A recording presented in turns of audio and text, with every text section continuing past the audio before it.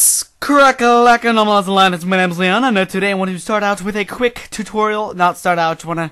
Uh, anyway, I've made a lot of videos while. Been trying to get that, get my new camera soon. Gonna make a lot of more skits and stuff. And a lot of people have been requesting lots of draft gra- draft tutorials, draft tutorials. And uh, yeah, so I'm gonna show you today how to make the geometric crystal effect, which I really enjoyed, and I just recently was taught. No, I learned how to make. And and yeah, so anyway, let's start a new composition in Photoshop. It's gonna be 1920 by 1080p.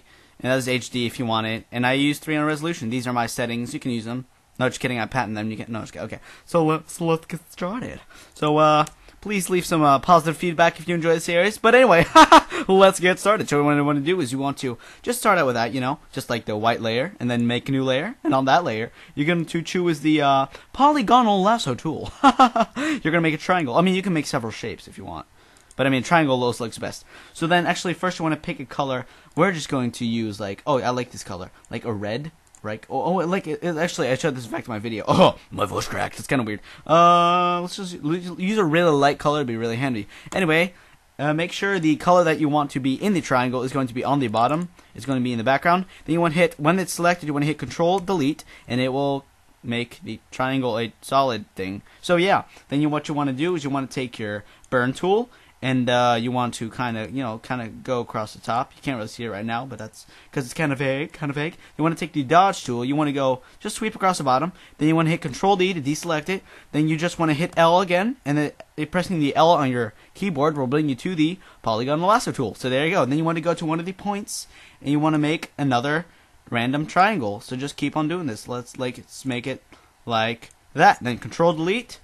Go to your dodge tool sweep across the bottom, and then go to your burn tool and sweep across top. That's it. And then uh, let's go over uh, right about there. And if your triangles aren't completely even or are completely not with it, that doesn't matter because I'll show you. So uh, now we're gonna go into the burn tool. Just gonna do that, and this can take up to how many? Like if you make the uh, triangles really large, it can take up. It will be. it's like eight o'clock, eight thirteen, four. I can't even count. I, okay, anyway, let's just get on with the tutorial. So, so if they're larger squares, it will take less time. Obviously, if they're really small squares, it can take a lot of time. So let's just make some really big squares so I can just not take long on this. There we go. It's kind of really, oh, yeah, that's going to be ugly. But anyway, you see what I'm doing here? There we go, Control Delete.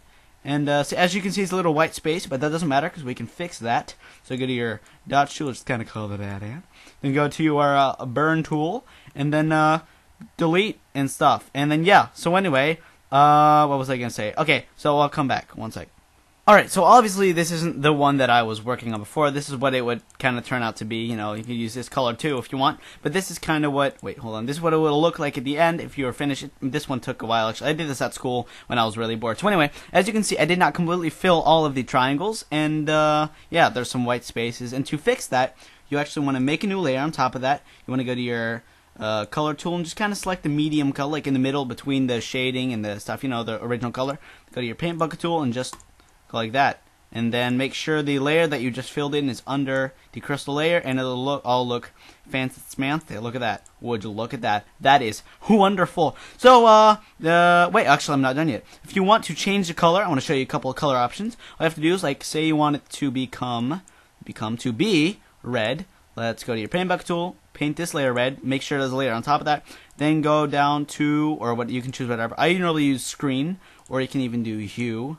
Let me just pick the right, there we go, and that'll be red or whatever. Or, to get even, like, more awesome and complex, is you can choose, like, if you want, say, say you want a gradient, say you want a rainbow over it, whatever, I don't care. Go to, uh, go to, uh, gradient, let's choose a, uh, rainbow, here we go. Let's kind of adjust it to the way we like it. Alright, alright, sounds good. Looks good, looks good.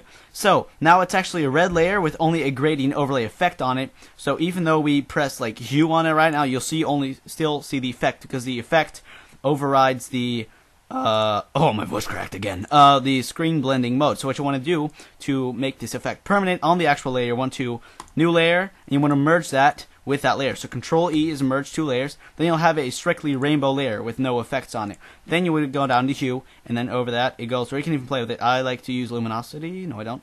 Uh, which one? No, color. Color works. It's really bright. Um, you can use, yeah, like, see, you can just play with these blending options, see what you like. So yeah, I hope you enjoy this tutorial. I just kind of planned like five minutes ago that I was gonna make a tutorial because I kept telling people people was like, oh, you should make tutorials and stuff. It's like, sure, I'll do that. I really want to do that. I always said I would do that, but I never actually did. But now I did. So uh, yeah, I really hope you enjoyed it. Hope it was somewhat helpful. If you want to see more, please leave a comment. Please leave a like or something, or just subscribe maybe. You know, I don't know. But uh, I hope you enjoyed it. So remember, join the pride and subscribe and come on, my friends.